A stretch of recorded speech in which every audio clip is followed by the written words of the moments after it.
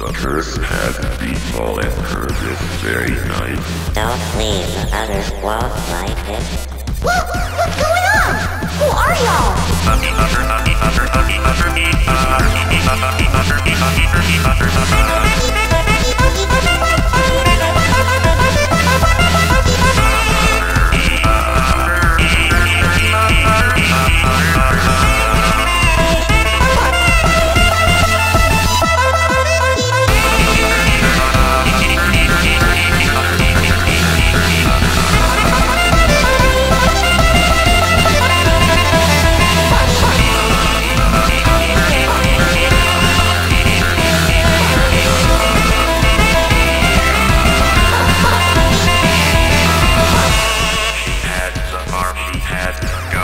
We will never let the same thing happen to you. This is our everlasting punishment. Now run for your life.